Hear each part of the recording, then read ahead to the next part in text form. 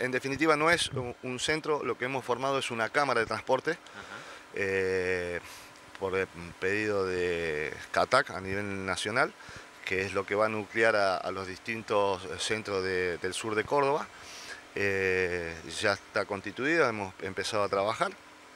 creo que va todo muy bien, hemos hablado con las distintas eh, empresas que hemos podido, pero bueno, ahora estamos al,